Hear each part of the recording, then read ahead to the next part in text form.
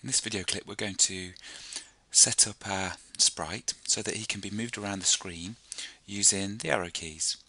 So the first thing I'm actually going to do is delete the cat sprite because I'm going to use a sprite from the library and I'm going to use a fish because I'm working towards making a tropical fish tank in the next few lessons.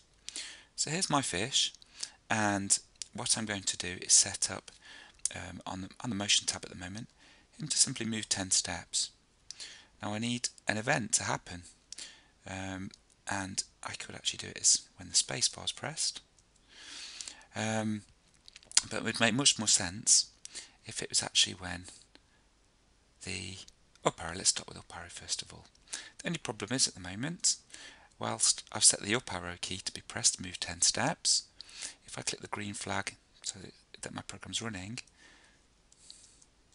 when I press the up arrow key, he's moving to the right. So I need to go back to the motion tab and actually make him point in the correct direction. Let's make him point up. And let's see what happens now. My green flag, if I press the up key, he moves up.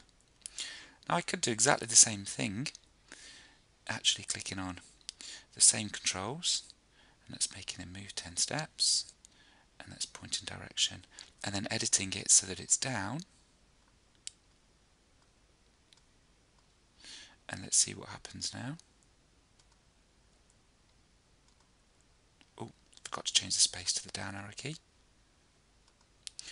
Hopefully what we've got now, if I click my green flag, is the up and down arrow keys working. Now that took me a little bit of time to actually drag those controls in. So what I can actually do is use the clone tool. And I can clone that set of instructions and then edit it for the left arrow key. And then I need to change the direction to left. And let's do the same thing again. Let's control sorry let's clone. So that this time instead of the down arrow let's change it to right arrow. And we're going to make it point right.